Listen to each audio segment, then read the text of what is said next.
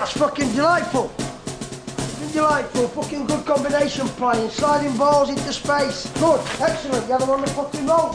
Hello and welcome to another edition of the Roker Report podcast in association with Sunderland Community Soup Kitchen.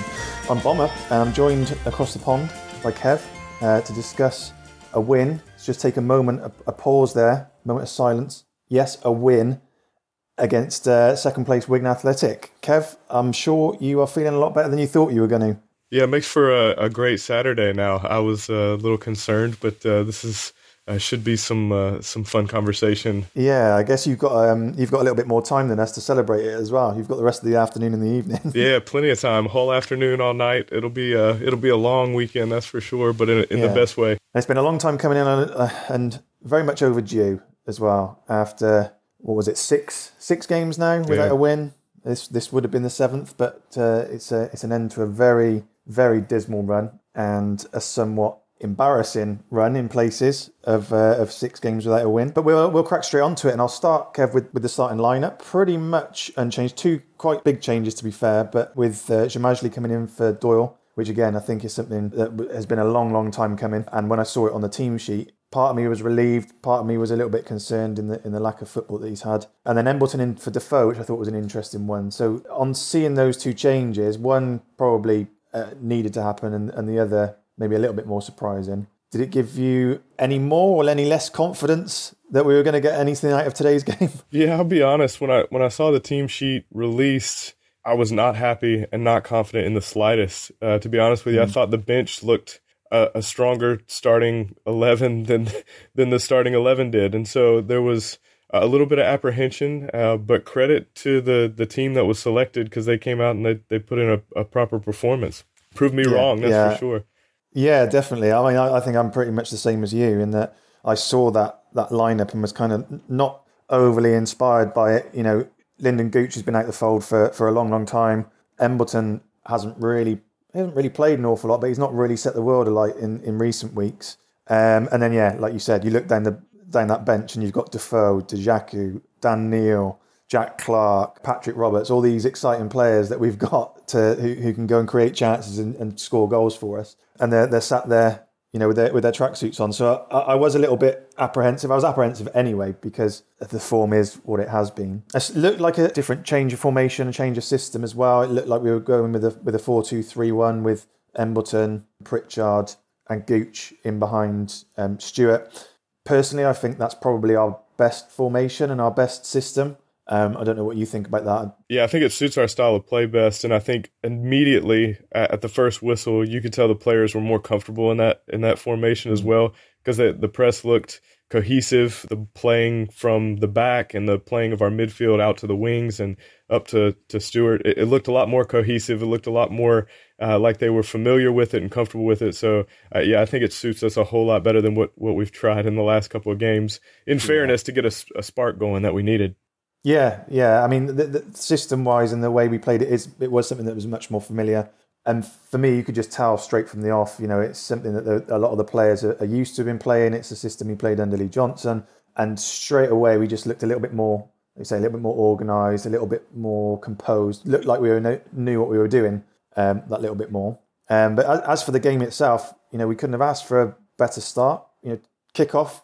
Pritchard's fouled. He gets up, whips in a free kick and, and Bailey Wright manages to get free from, I think it was James McClean, actually, of all people. And all he's got to do really is get his head on the ball, make that connection, send it goalwards, and he's close enough that the, the keeper can't really do much about it unless unless we hit him. And it's and it's one 0 out of so everybody's surprised. I barely sat down. I'd missed missed the kickoff itself, and I sat down literally as the free kick's coming in, and, and lo and behold, the, the goal was there. We've noticed uh, the last couple of weeks when we get those first 10, 15 minutes in good possession, good build up play, and then it all comes to naught and it kind of falls apart for us. But when we can get an early goal like that, it, it, does change the way that we play the rest of the game as well. Yeah, and you, you immediately saw like it's, it's difficult to tell because it's so early. You don't know if that's kind that was kind of confidence and attitude going into the game, or whether that early goal just sparked that confidence. You couldn't really tell because there was literally no play before the goal, but you could just see that after that early goal, everyone just kind of lifted their chins up a little bit, stuck their chests out a little bit more, certainly than, than what we've seen in, in previous weeks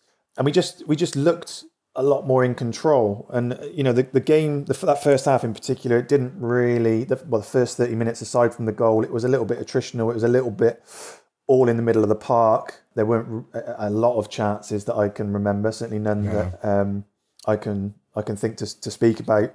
I think Max Power had a free kick. That was probably about it up until up until the penalty. Now, for me, uh, in real time, I thought this penalty was really soft. Kind of obviously, would take it. We'd take anything we can get at the minute, but I thought it was soft. But then having watched it back, um, it's quite clear. Stewart gets there before, doesn't he? And then um, I, I can't remember who the defender was, but he's kind of stuck a leg out, not made contact with the ball, and legs kind of come across Stewart. Stewart's fallen over it. I think Stewart's made the most of it, but it was. Um, I don't think there's any doubts that it was a penalty.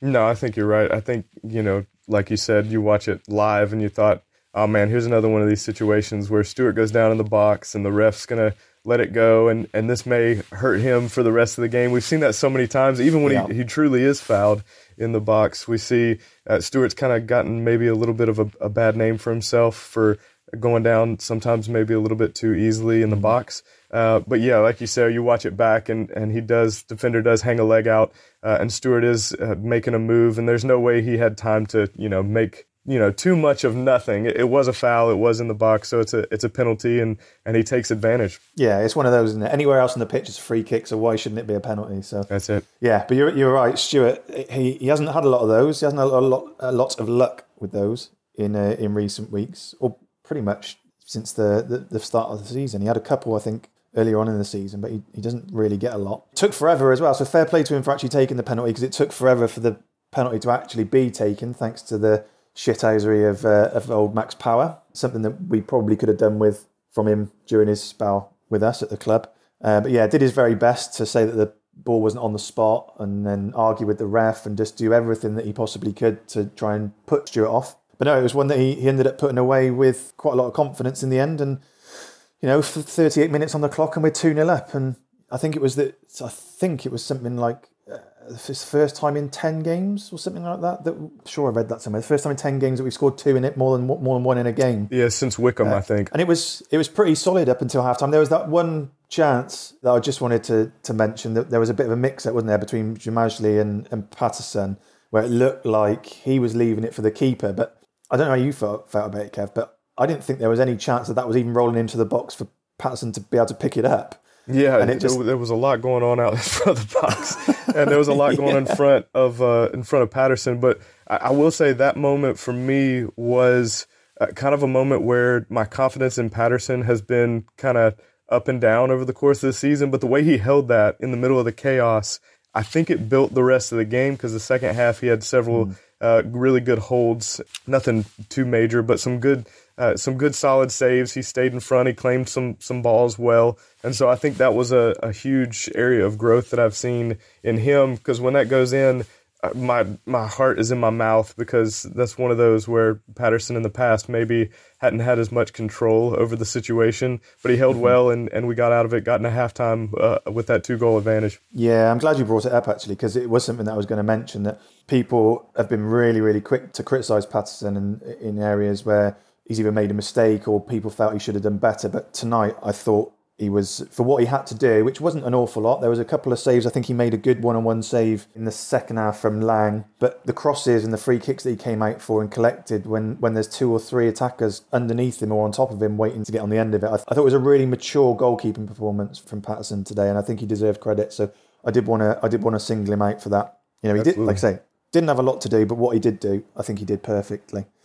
Um, so yeah, so 2 0 at half time, and then just running through the second half, you know, early doors, we seemed to go up another gear. It could have been three or four quite early in that second half. Bailey Wright just missed getting on the end of one. I think it was Stewart flashed the ball across and he just missed that. Pritchard as well had a shot which just missed the one outside of the far post. I think we we controlled large parts of the game. I was looking at the stats afterwards, and it's actually the first time in a long time that we've had less of the ball than the opposition. I think it was 57 43 to, to Wigan. So it's good to do uh, to other teams what's been done to us yeah. uh, in recent weeks and months. Uh, that first five minutes of the second half, uh, we were so in control. I'll be honest with you, that was the most mm. nervous I was during the entirety of the game because we had those three or four really good chances.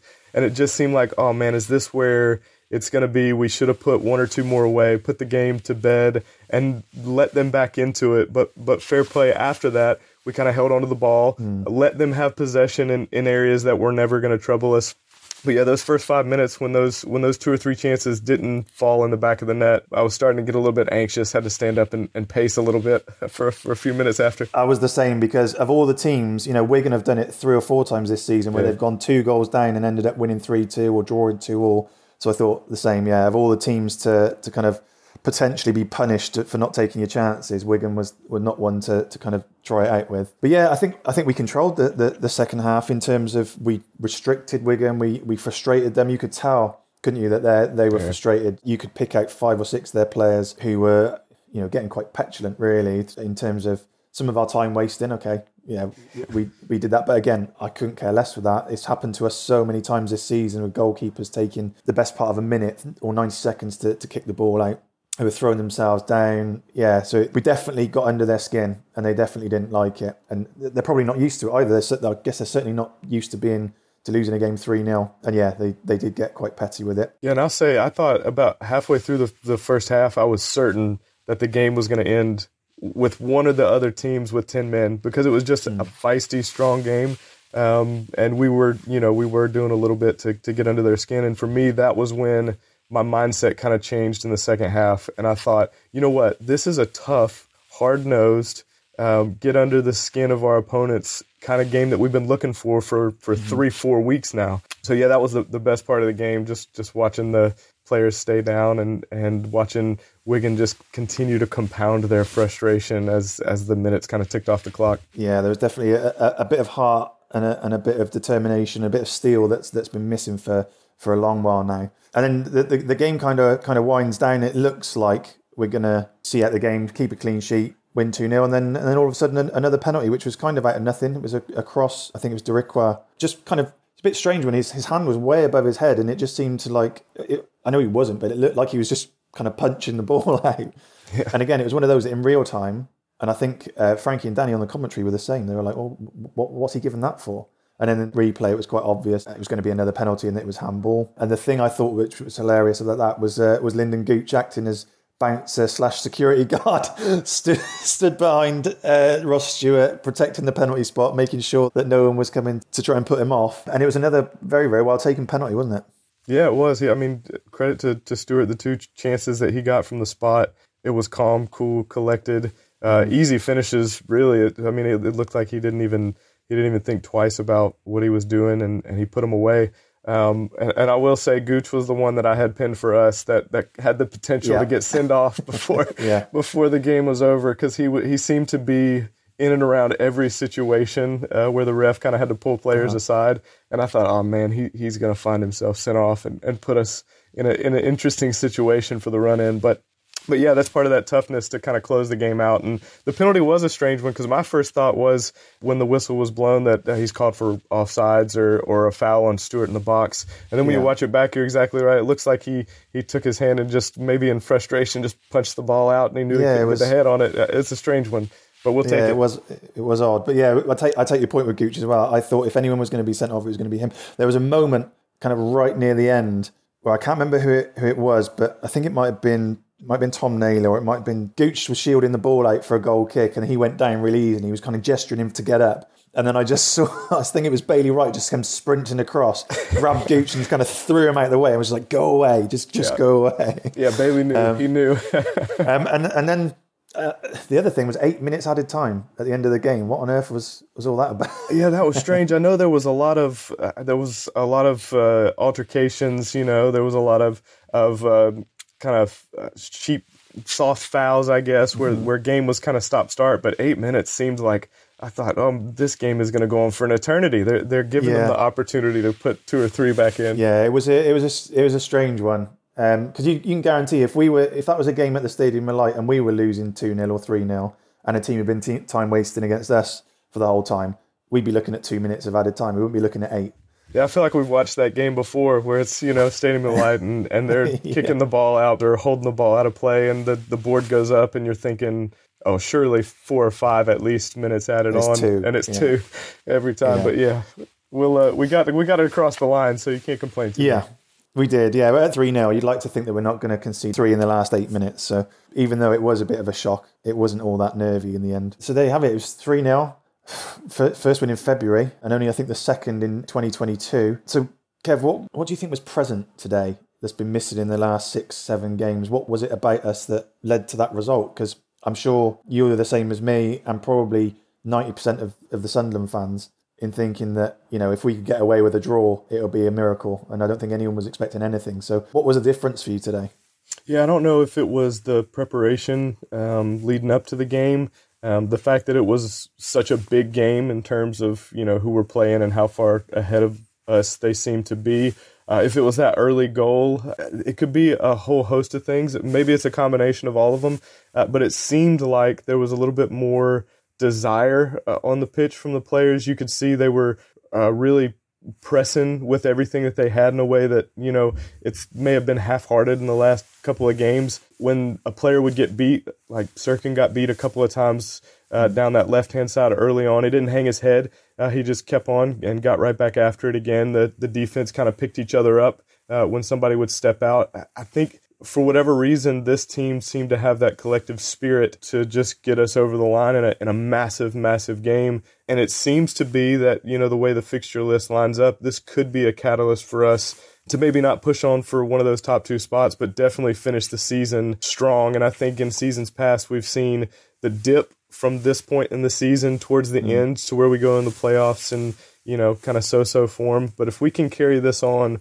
the rest of the season, we could be as dangerous a team as we all thought we were maybe two or three months ago. Yeah, there's a chance that it's kind of too little too late, I think, certainly for, for the automatics. But I'll, I'll come on to where that takes us because there's a couple of performances that I wanted to kind of single out. Now, obviously, firstly was Arbi Xhemajli. I think he's played two games in 18 months, came with quite a bit of promise, not played a league game. I think he just played, he played a friendly and a Papa John's trophy game. Yeah. Callum Doyle had to come out of the team, and you would have thought probably Danny Batth was the one to come in, but he wasn't in the squad at all today, so I can only assume he's struggled with injury still. So yeah, but I thought the first kind of 10, 15 minutes, he looked a little bit uncomfortable. But after that, you know, he was throwing himself about, he was physical, he was winning all the headers. Him and Bailey Wright, considering I can't remember if Bailey Wright played in either of the games that he was in, but considering they pretty much at best they've played 90 minutes together, right. they seem to have a good understanding. They communicated well.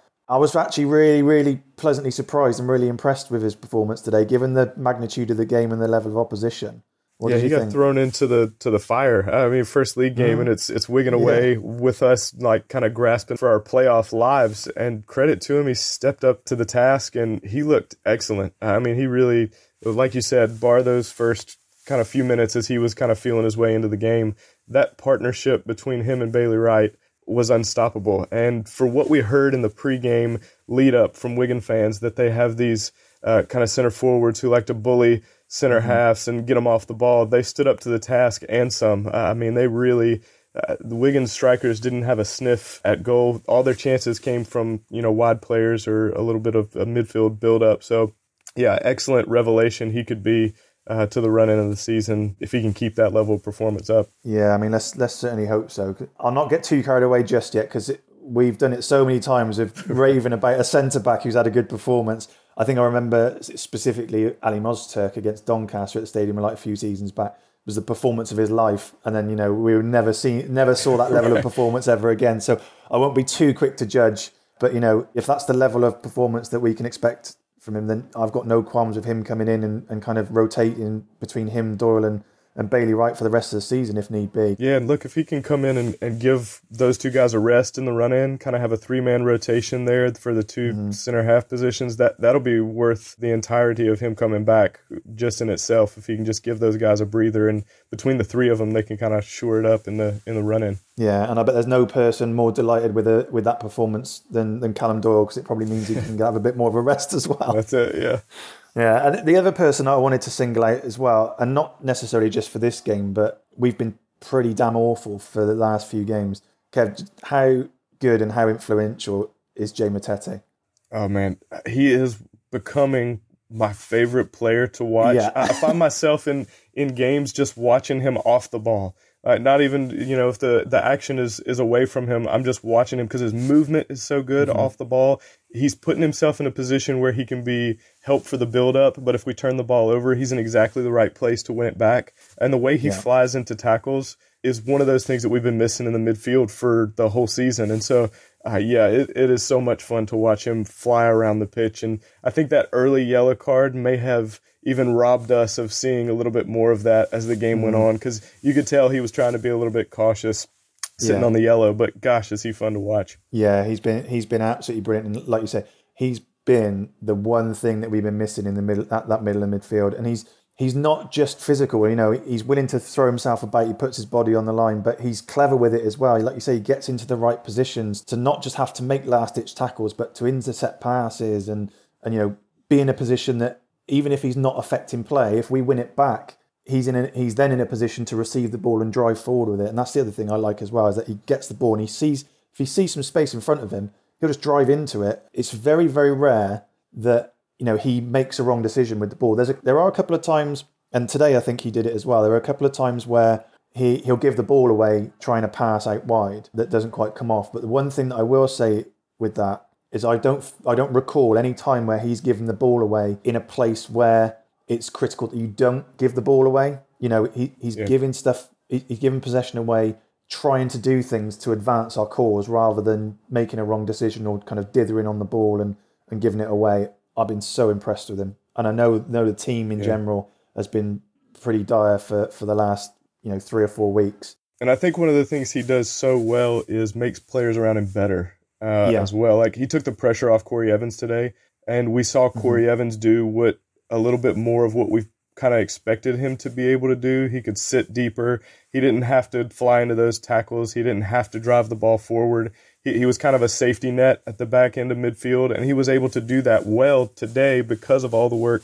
that Matete was doing. And so I think mm-hmm. if he continues to do that, it's going to benefit Evans. It's going to benefit uh, Dan Neil. It's going to benefit our wide players. It's going to you know everybody just is is going to have their level of play raised by him and it's a it's yeah. a really really good thing to watch. Yeah 100% the only thing that i would say that he needs to probably consider is the bookings because i think he's played four yeah. games now and picked up three maybe even four bookings. He's been at the club for four weeks and he's in danger of a one match suspension already. Right yeah. But yeah I, other than that i can't i can't fault him. So yeah it's a it's a 3-0 win. It's a it's a good performance. Where do we go from here kev? Because as good a performance and a result it is it's almost like I was saying, it's a bit too little, too late in terms of the automatics. Unless you think otherwise, what what, what do you think? Where do we go from here? Well, the the league has been. I was just thinking about this before we kicked off. The league has been so unpredictable this year as far as teams at the top, other than Rotherham, uh, and now as Wigan is kind of charged up with their games.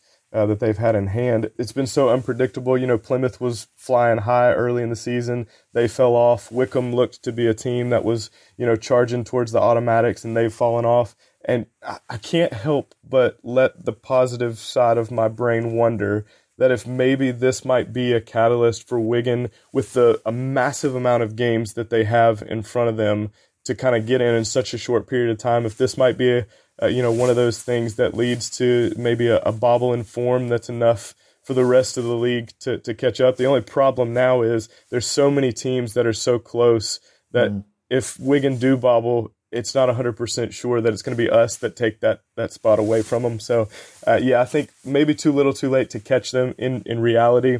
And even if they do bobble, it may be too little too late for all those other teams around us to maybe step up into that spot as well. But I think what it does guarantee is a little bit of confidence for us moving into to our next fixture, which I think is the only thing that we're going to be able to think about at this point. There's one more game at a time, and it puts the pressure on teams around us uh, and it gives us an opportunity to to be in good form come season end, whether that be uh, a realistic chase for the top or um, a really good run in leading into the playoffs. Which I don't know about you, but I think Alex Neil is suited for that. He he's proven mm-hmm. himself mm-hmm. to be a good playoff manager, so I, that may put us in a in a pretty good situation. Form uh, plus the type of manager who knows how to get the job done in the playoffs. It, it may work in our favor, and the season may not be spoiled uh, like some were fearing it was uh, in the lead up to this one just yet. Yeah, definitely. I mean, there's there's a part of me. I, I know we're only what less than an hour after the final whistle, so we're all kind of high on the on the adrenaline of a, of a 3 0 win. So part of me is thinking, oh, well, you know, if uh, if Wigan go on a bad run now, because like, like we said, they were quite rattled and they've got a, a lot of games yeah. to play. So it stands, there is a possibility that they,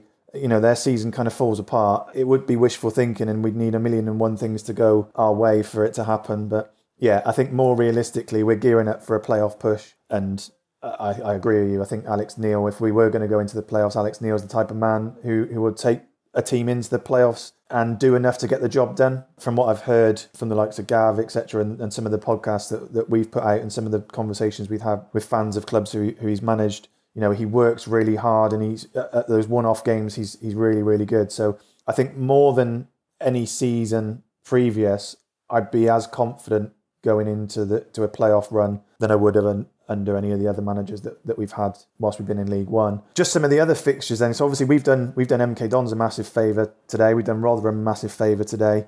Both of them uh, ended up winning against Bolton and, and Plymouth respectively. Sheffield Wednesday also won. Oxford won. So actually we've had to pull that result out the bag just to stay in touch with everybody else. So it just made that result all the more important. And just looking at the league table, now we've got Rotherham kind of running away with it at the minute, 75 points.